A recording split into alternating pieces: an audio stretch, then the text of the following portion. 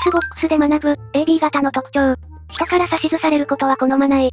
今日は電車混んでるわね。バスで行った方が早く着くのだ電車で行くって決めてるから黙ってて。寂しがり屋。ずんだもん。買い物一緒に行かない？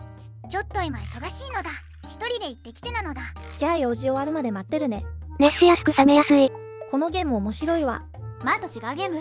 前のゲームはやることなくなったから飽きて。もうやってないわね。中途半端は苦手。白黒つけたい。いつ帰るの？もう少ししたらもう少しっていつよ。具体的な時間を教えてくれない？あと1時間後わかったわ。好き嫌いがはっきりしてる。サーモン美味しいわね。サーモン以外のお寿司は食べないのだサーモン以外は嫌いだから食べないわ。そんなに同じもの食べて飽きないのだ好きだからいくらでも食べれるわ。急に帰りたくなる時がある。うさぎ、私も帰るわ。どうしたの？まだ家に来て30分しか経ってないのに何か怒らした？別に怒ってないわよ。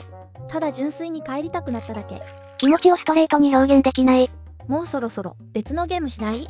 まだ始めたばっかなのだもう少し付き合ってなのだでも私下手ですぐ倒されちゃうし迷惑かけちゃうから。別に問題ないのだそれともあんまり楽しくないのだごめんね。